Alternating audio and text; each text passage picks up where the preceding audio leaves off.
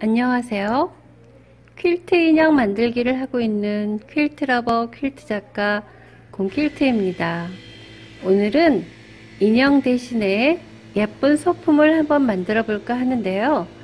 저의 원꽃 시리즈 중에서 저기 보이는 노란색 꽃, 해바라기 꽃을 한번 만들어 보겠습니다. 이 원꽃 시리즈는 제가 2007년 정도부터 하나씩 만든 건데요. 하나씩 만들어 가다 보니까 너무 예쁘더라고요. 그래서 계속 만들게 됐는데 이 중에서 해바라기 꽃을 한번 만들어 보겠습니다. 그럼 이제 본격적으로 해바라기 꽃을 만들어 보도록 하겠습니다. 제가 가지고 있는 해바라기 원꽃의 지름은 31cm인데 이게 너무 커서 이거의 축소판을 한번 만들어 보도록 하겠습니다. 먼저 도안이 필요합니다. 이 도안을 얇은 크래프트지나 얇은 마분지에 풀로 붙여서 오려줍니다. 그럼 이렇게 만들어집니다.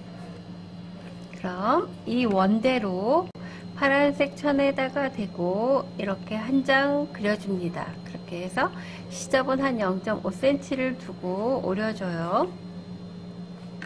그리고 이 작은 꽃심 천을 가운데 대고 또 한번 그려줍니다.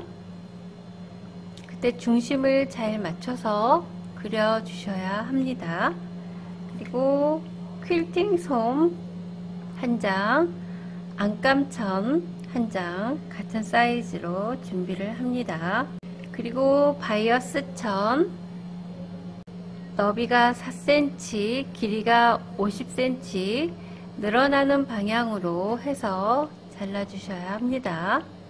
원래 바이어스 천의 너비는 3.5cm인데 3.5cm는 너무 불편해요. 그래서 4cm 정도 여유를 두시고 하시면 훨씬 더 편안하게 바이어스를 할 수가 있습니다. 그리고 꽃심천 한 장 0.5cm 시접 두고 오리시고요. 겉면에다가 그립니다. 그 다음에 꽃잎전 큰거 21장 그 다음에 작은 꽃잎 전 42장 그리고 여분으로 또 작은 꽃잎 10장 이렇게 준비를 하셔야 합니다. 꽃잎 하나를 만들려면 이렇게 천 조각이 두 개가 필요해요. 이것도 평소에 노란색 천만 짜투리 천 모아놨다가 하나씩 하나씩 만들어 놓고 원꽃을 만들면 뿌듯한 마음이 있어요. 그래서 이것도 짜투리 천을 이용하면 훨씬 더 좋습니다.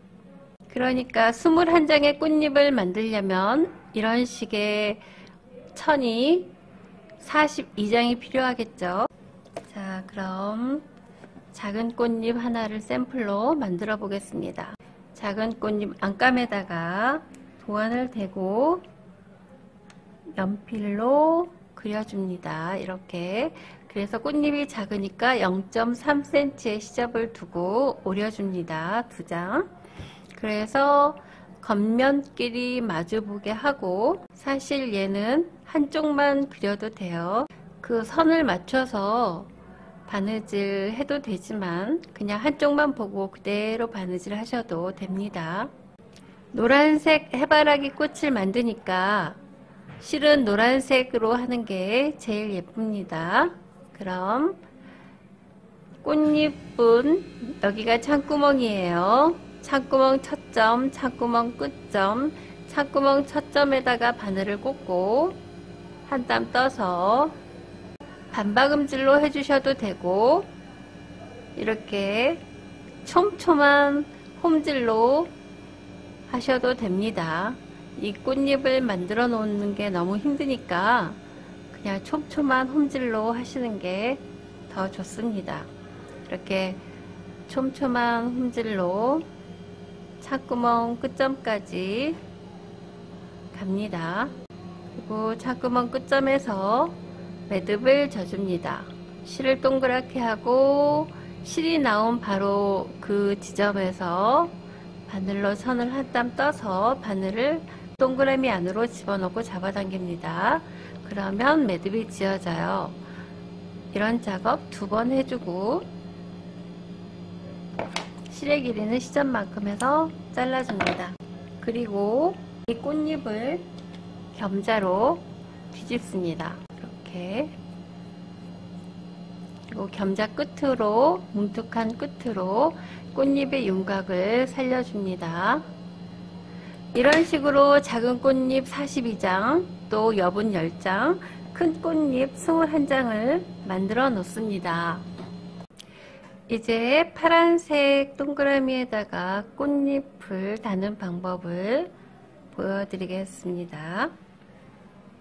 안감천은 나중에 사용할 거예요. 그러니까 퀼팅 솜에다가 안감천을 이렇게 대고 꽃잎 달 때 움직이지 말라고 여기 그어 놓은 선 바로 뒤쪽 그러니까 바깥쪽으로 0.1cm 정도 나가셔서 이렇게 한 바퀴 홈질을 해줍니다.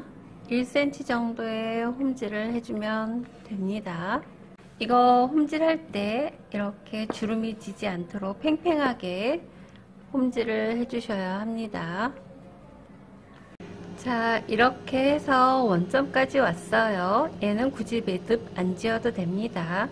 그냥 나중에 놔둬도 되고 뽑아내도 되는 실이기 때문에 그냥 홈질로 이렇게 마무리를 하시고 끄트머리는 그냥 바짝 잘라냅니다. 이렇게 원 테두리를 홈질로 해서 움직이지 않게 고정을 시켜준 다음에 또 같은 방법으로 이것도 이 가운데 그린 원선에서 0.1cm 정도 바깥으로 나가서 이렇게 홈질을 해줍니다.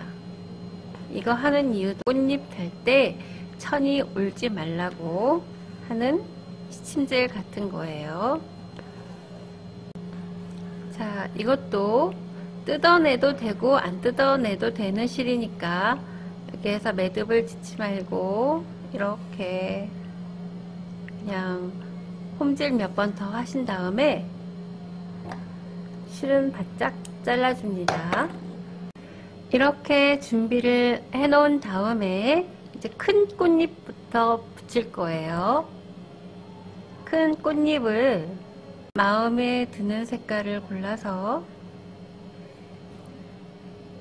여기 원 안에다가 약간의 시접 이 부분 시접을 한 0.5cm나 0.3cm 정도 이 원 안에 들어가게 한 다음에 뒤쪽에서 이거는 매듭 걱정 안 해도 돼요. 나중에 다른 천으로 안감천으로 매듭이 다 가려지니까 그냥 이렇게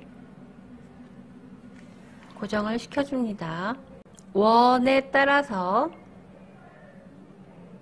고정을 시켜줍니다. 하나를. 그리고 또 다른 하나도 이렇게 약간만 겹쳐지게 이렇게 바로 하지 말고 약간 위에다 겹친다 하는 생각으로 이렇게 해서 똑같은 방법으로 또 고정을 시켜줍니다. 이렇게.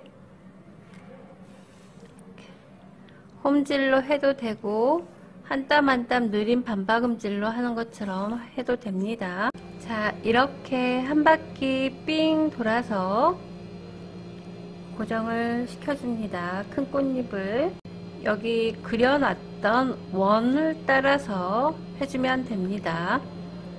얼마나 촘촘하게 했느냐에 따라서 21장이 다 쓰일 수도 있고 저처럼 음, 19장 정도가 쓰일 수가 있어요. 나머지 두 장은 여분으로 남겨두고 그 다음에 이제 두 번째 꽃잎을 달겠습니다. 두 번째 꽃잎은 여기 사이에다가 또 시접의 길이는 똑같이 맞추는 거예요. 이렇게 여기 시접의 길이는 사이에다가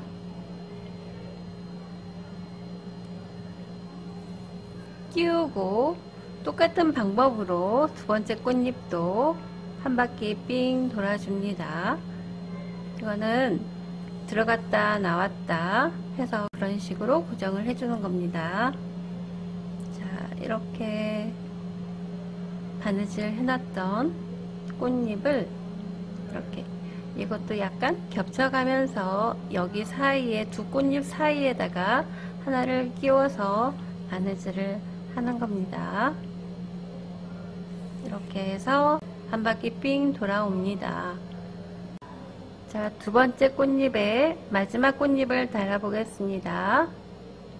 첫 번째 꽃잎이 19장이었으면 두 번째 꽃잎도 19장 들어가는 겁니다. 이렇게 바느질은 계속 같은 곳을 해주는 거예요. 이렇게 똑같은 곳을 첫 번째 꽃잎도 두 번째 꽃잎도 다 똑같아요. 자, 이제 세 번째 꽃잎을 달아 보겠습니다. 세 번째 꽃잎도 두 번째 꽃잎 사이에다가 이렇게 달아주는 거예요. 이렇게 하면 안 되고 약간 밑으로. 그러니까 세 번째 꽃잎 달 때는 시접이 조금 많이 남겠죠. 자, 똑같은 방법으로 세 번째 꽃잎도 한 바퀴 삥 돌아옵니다. 바느질은 계속 같은 곳을 하는 겁니다. 자, 세 번째 줄에 마지막 꽃잎을 달고 있습니다. 사이사이에다가 하는 거예요. 이렇게 와서 이제 뒤쪽에서 매듭을 짓겠습니다. 이 뒤쪽은 안감천으로 가려지는 부분이기 때문에 실밥이 다 보여도 괜찮습니다. 매듭을 짓고 실 끊어준 다음에